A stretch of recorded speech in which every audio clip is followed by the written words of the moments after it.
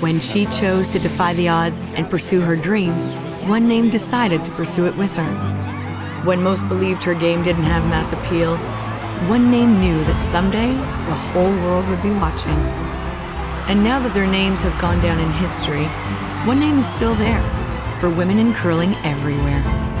Thank you, Kruger Products, for supporting Canadian women's curling for 40 years and counting.